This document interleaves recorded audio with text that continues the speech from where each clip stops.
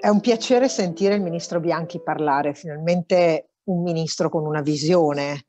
Eh, io ho avuto eh, veramente il piacere di lavorare a, fianco a fianco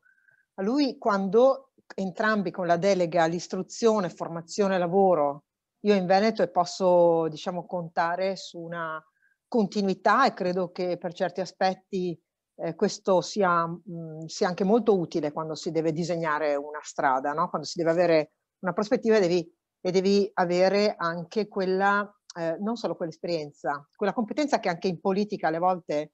eh, ha lasciato, ha segnato il passo, segna il passo grandemente, lo vediamo nei tanti errori, ecco in Bianchi questo, questo vuoto non c'è. È stato assessore dieci anni in regione Emilia Romagna, come ha ben detto lui, quando tante volte ci siamo trovati a parlare di un grande nord-est e ormai è studiato, eh, è studiato esattamente così, una volta si pensava e si parlava di Veneto, Friuli Venezia Giulia e le due province autonome con Bolzano sempre ovviamente un po' per conto suo, ma con, questo, con questa continuità eh, certamente da più tempo l'Emilia Romagna è esattamente parte di questo ragionamento e con lui eh, proprio sugli ITS ci siamo in tante occasioni trovati a ragionare. Eh, a ragionare perché rispondiamo alle esigenze di un'economia che sta cambiando, ma quando tu ascolti il territorio, quando tu ascolti le imprese, quando il rapporto è eh, a stretto contatto con il mondo del lavoro, poi le domande, non solo quella che lei così ha posto a me, ma le domande plurali che vengono poste, dagli operatori, dalle associazioni di categoria, dal mondo sindacale,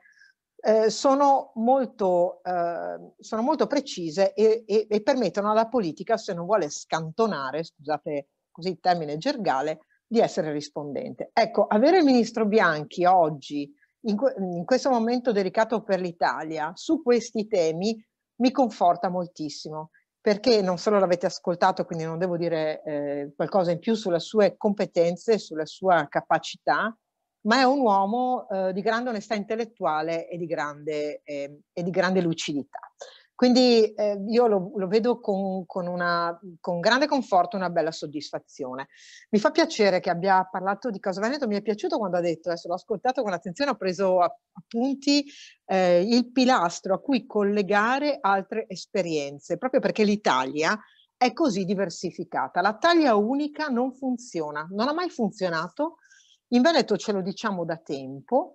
eh, è il caso che questo dirlo non sembri una, eh, un, sempre una, una, sorta di uh, provocazione o, uh, o anche sia letto come un'arroganza, ma noi dobbiamo dire l'Italia è molto diversificata, per poter, per poter, essere efficienti le politiche pubbliche devono avere un quadro di riferimento nazionale in particolare su alcune cose, ma poi bisogna lasciare libertà, vorrei dire insomma, un po' più di autonomia ai territori. Il nostro di sicuro ha saputo in punto di ITS, cioè costruendo questa offerta, eh, questa offerta di alta formazione, fin da subito avere le idee chiare. Eh, io ehm, con questa premessa non ho dimenticato e non voglio dimenticare di ringraziare Confartigianato, perché tra il, il primissimo incontro che abbiamo che fatto con il presidente Boschetto nel suo insediamento, accompagnato dai suoi dirigenti, proprio sugli ITS lui ha voluto soffermarsi e io ho apprezzato molto questo tipo di scelta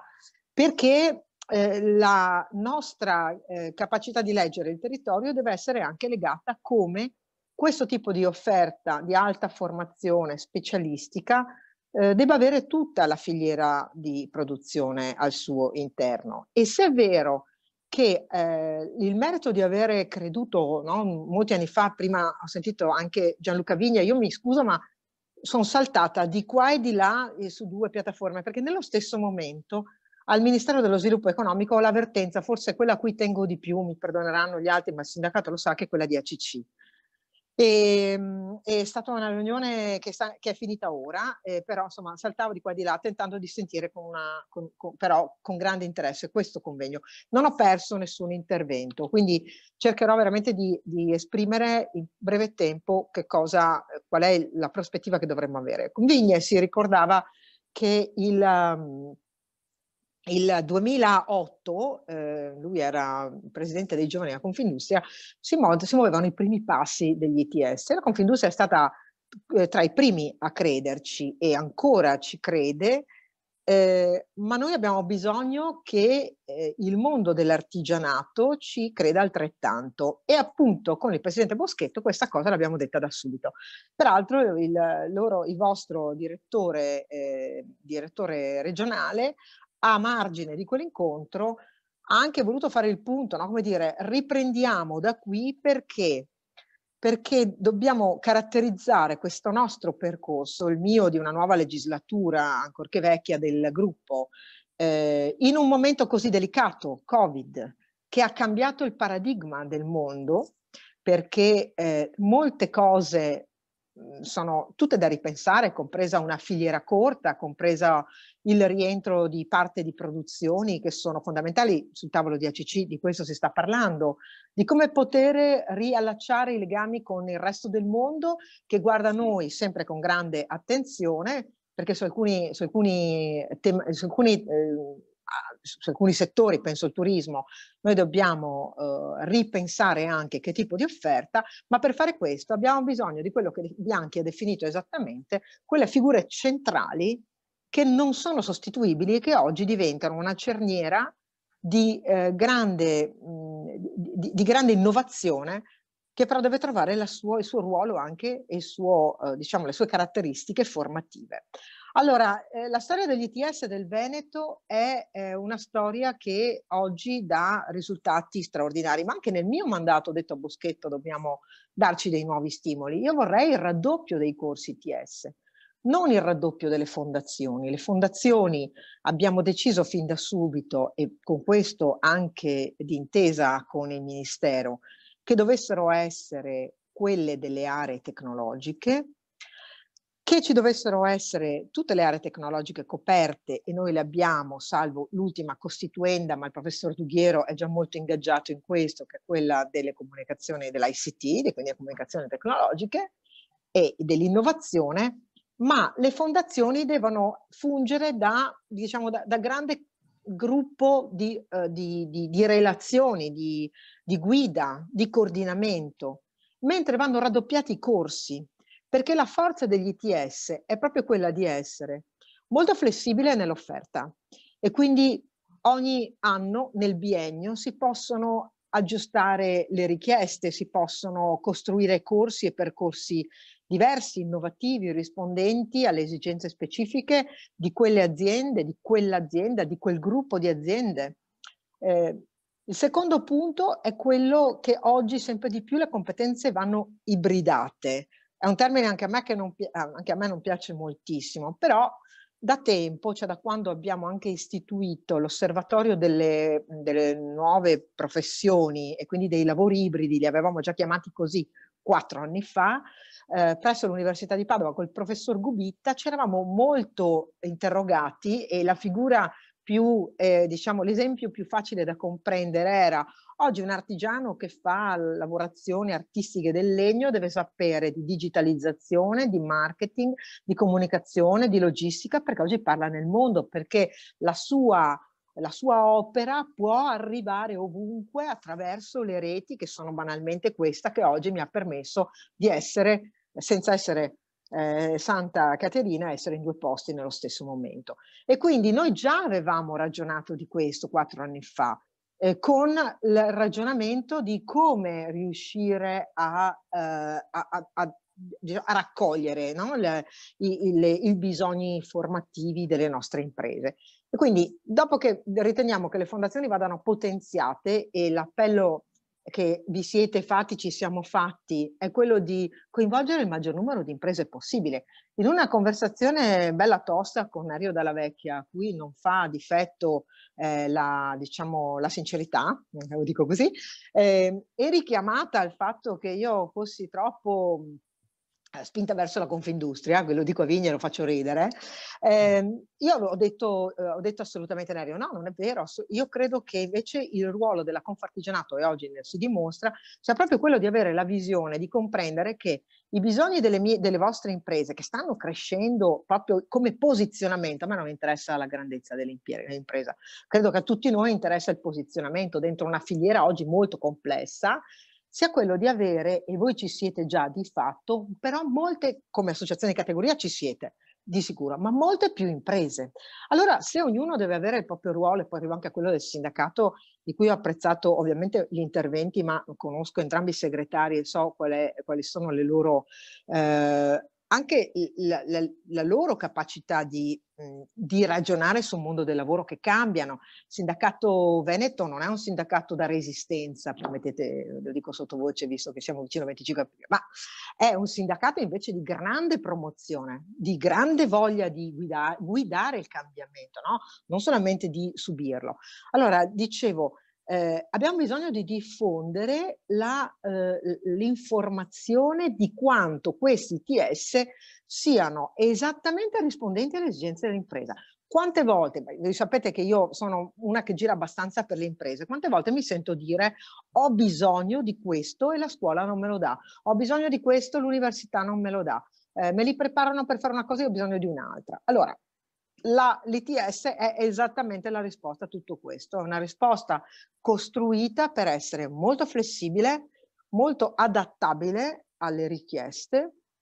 eh, molto spinta dentro le imprese, ricordiamoci che il 40% delle, eh, delle, ore va fatto in impresa, ricordiamoci che il 25% si fa tra laboratorio e ricerca, non esiste un altro percorso di questo genere qua. E anche quando si, si dice, e, e, e, credo che eh, l'abbia detto, eh, non, so, non, ricordo se era Fosco o, o, o Cristian Ferrari, ma che va ehm, enfatizzato il tema del duale, io credo che sia esattamente questa la risposta. Eh, con duale però, lo dico sorridendo perché sarà un argomento delle prossime ore, eh, poi si deve anche comprendere che quando si tratta di duale anche il governo deve rispondere esattamente con coerenza, non sto parlando ovviamente del ministro Bianchi, perché se noi vogliamo che l'alternanza scuola-lavoro sia, al di là no, del progetto delle scuole superiori, ma sia un metodo che noi spingiamo molto di più e che poi possa portare le aziende a credere che il contratto principe, come si diceva, come hanno detto sia eh, i, due, ecco, i, due, segretari generali, eh, il contratto dell'apprendistato sia il contratto principe per entrare nel mondo del lavoro per i giovani, perché questo dovrebbe essere, e quindi con un apprendistato di terzo livello che fino ad oggi, pur essendo nell'ordinamento, è stato debolissimo, i numeri in Veneto sono bassissimi e potrebbe riguardare l'università, potrebbe riguardare, riguardare l'ITS, cioè il conseguimento di un titolo no, di formazione terziaria eh, nelle imprese. Ma no, le nostre imprese devono saperlo e spesso non lo sanno, ma non è colpa loro. Eh, e devono anche essere consapevoli che questo non è una, una forzatura, ma è una grande opportunità. Dicevo eh, sulla, sulla, discussione che ho avuto con Nerio, sono le imprese poi che stanno dentro le, stanno dentro le fondazioni, stanno dentro la costruzione dei percorsi. Per quello dell'associazione di categoria, in questo caso, è fondamentale, è quello di, eh, di far crescere culturalmente una mentalità, una conoscenza e anche una convinzione. Allora, noi oggi abbiamo in Veneto 55 corsi finanziati nel 2020. Eh, nel 2019 erano 46 e siamo partiti con 18. Quindi la crescita è stata così. Obiettivo del mio mandato, come vi ho detto, è il raddoppio dei corsi, sono molto certa che il ministro Bianchi darà seguito con coerenza alle cose che ha detto qui, ma che ha detto in diverse occasioni anche per quanto riguarda il piano nazionale di ripartenza, perché questo è veramente un ottimo modo per far crescere le imprese. Anche nella sua testimonianza Nerio Dalla Vecchia ha detto come la sua azienda, avendo un ragazzo giovane entrato, poi per osmosi, per contaminazione, abbia deciso di, di, investire eh, in formazione, perché anche gli altri lavoratori trovano stimolo ad avere una giovane così formato, con queste competenze trasversali, con questa contaminazione, con questa ibridazione per, per poi crescere in continuità. Allora, la, eh, la cosa che, eh, no, per la quale noi dobbiamo eh, diciamo, guardare eh, con alcuni problemi che restano sul, sul, tavolo sono, il primo, quello di una reputazione, no? Ci abbiamo detto.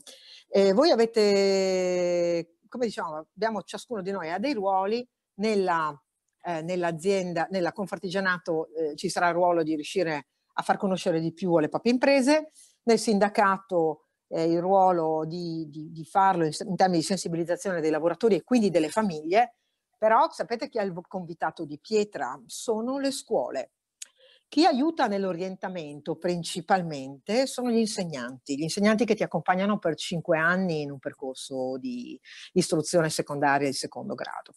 e eh, quando in uno dei protocolli che abbiamo siglato, eh, perché in Veneto siamo anche bravi a siglarli tutti insieme i protocolli e non è sempre così nelle altre regioni, quando eh, vi ricorderete abbiamo spinto molto sull'alternanza scuola-lavoro nel momento in cui il governo era, il primo, il primo governo Conte aveva cambiato per una, secondo me, sciocca posizione ideologica l'alternanza scuola-lavoro in PTCO, riducendo anche le ore. In Veneto abbiamo fatto una cosa diversa, tutti, sindacati, datoriali, eh, tutto il mondo invece convintamente ha detto no, noi vogliamo una alternanza scuola-lavoro rafforzata, non ridotta. E avevamo anche previsto di avere l'alternanza scuola-lavoro per i docenti.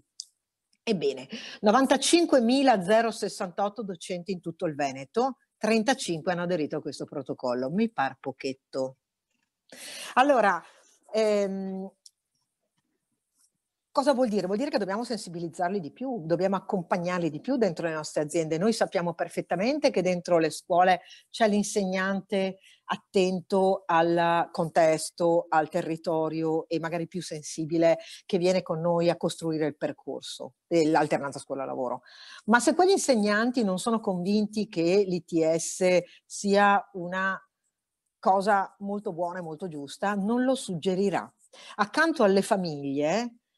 eh, però vi dico, vi dico un'altra cosa, anche se i nostri percorsi danno il 90% a un anno, 90% di media eh, a un anno dal conseguimento del titolo sono occupati coerentemente, cioè quel percorso che hanno fatto è anche quello che va a, ad, ad, occupare le persone. Beh, eh, non, non, serve oggi, non serve oggi dire che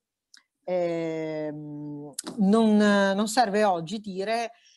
che, che, danno occupabilità. Ora, magari nel 2019 era più, no, la, alle famiglie interessava meno, spero che questa volta si rendano conto che il mondo sta cambiando e che c'è, e che c'è oggettivamente un problema anche di lavoro.